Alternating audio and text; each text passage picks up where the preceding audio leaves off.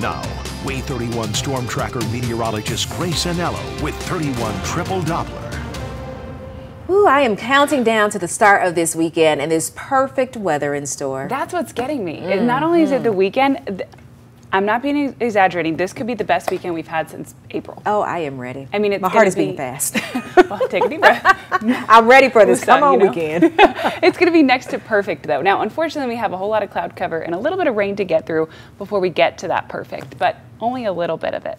Take a look right now at 31 triple Doppler. Kind of a mess, but I'm going to explain to you what we're seeing. 1120 on your Friday, and basically the gist is if you're seeing blue, that is feedback, particularly those darker blues. Where you're seeing green, that is rain. So this cell in northern Madison County, just east of Hazel Green, that's a little bit of rain. This, these two cells in Franklin County, a little bit of rain. The green down in our southern counties, rain. All of this blue mess right here, that is not rain. That is feedback from our radars. It's called a radar bloom. We have Anello answers on it. We'll have another one of those soon. But the moral of the story is if you're in that navy blue, you don't need your umbrella right now.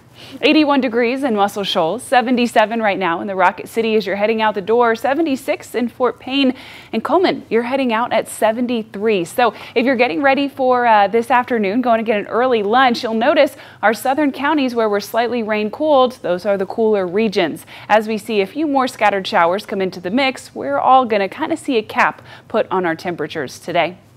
By the time we get to later this afternoon, that light rain will creep north. Now, it's not going to be widespread. Today is quite similar to yesterday in that the rain that we do see, very light, very sporadic, and just those light showers, nothing really too heavy. Kind of here and there around 4 o'clock as you're getting ready to head home from work, and then it sticks with us, tracking south and east. Fast forward to 7 o'clock this evening when we're getting ready for one of the 40 big game Friday night, Friday night football games across the northern portion of the state today and the vast majority of us are dry. We will see just a little bit of that drizzle in our southeastern counties, but I want you to notice how light green that is. That means it really is just drizzle. So probably honestly not even enough for you to need your umbrella. You're going to dodge that shower for a couple minutes and then it's going to be out of your way.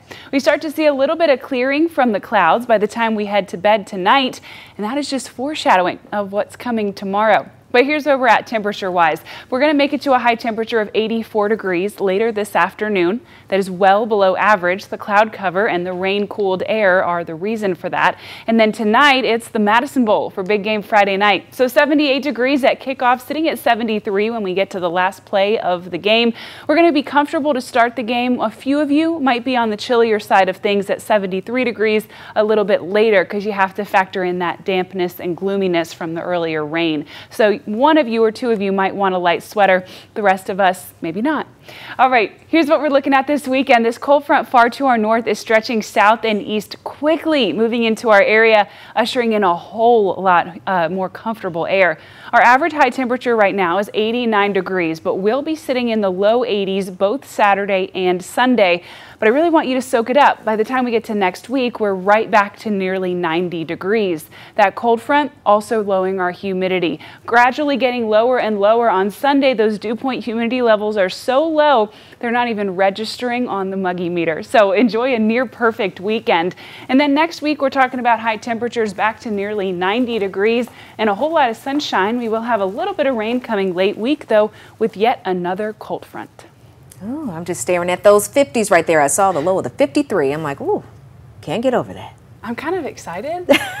Let me tell you something. I love my slippers, like my house shoes, uh -huh. but it's too hot to wear them in the summer. And I saw them in my closet the other day, and I thought, I'll be back for you soon. Exactly. Get that fireplace going too. Very cozy. Well, thank you, Grace. Thanks. And make sure you all stay with us.